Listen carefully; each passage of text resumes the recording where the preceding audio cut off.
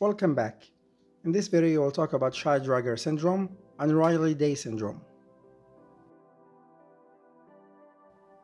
Both of these syndromes cause autonomic dysfunction. Basically, it causes disruption of the delicate harmony between the sympathetic and parasympathetic system. Sometimes the sympathetic system is activated where it shouldn't, and other times the parasympathetic is activated elsewhere.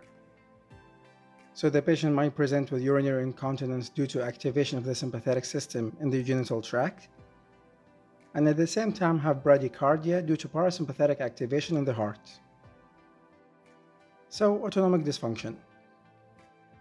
However, both disorders will present with orthostatic hypotension. And this is the main issue that you have to treat. We treat it with volume expansion. So we give the patient salt tablets or salt, fludrocorticoids, or alpha agonists. And this is more than enough to treat the orthostatic hypotension. To differentiate between them in the exam, Shy-Drager syndrome is caused by progressive Parkinsonism.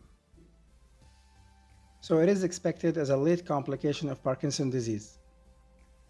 So we only see it in older patients. Riley-Day syndrome is quite the opposite. And it presents at birth because it's an autosomal recessive disease. So to recap, Shy-Drager syndrome and Riley-Day syndrome both present with orthostatic hypotension as the main complaint, and they both cause autonomic dysfunction. Shy-Drager syndrome appears later in life and it is caused by progressive Parkinsonism. Riley-Day syndrome appears early in life and it is caused by autosomal recessive disease. And here's a small quiz.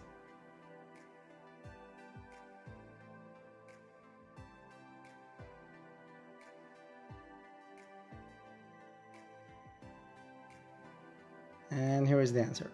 Alright guys, that's all I have. Thank you so much for watching and hopefully this helps.